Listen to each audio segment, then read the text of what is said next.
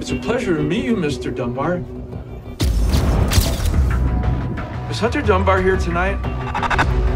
That's enough. I need to get an autograph. Don't let him do this to me. I'm a fan. I'm a number one fan. Is it difficult to find famous people's houses?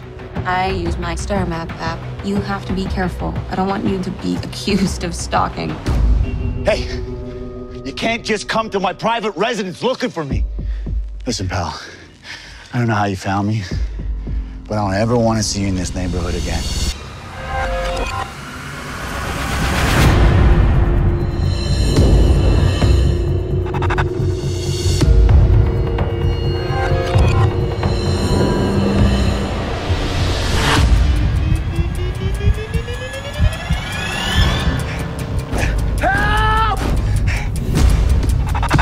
Wanted an autograph.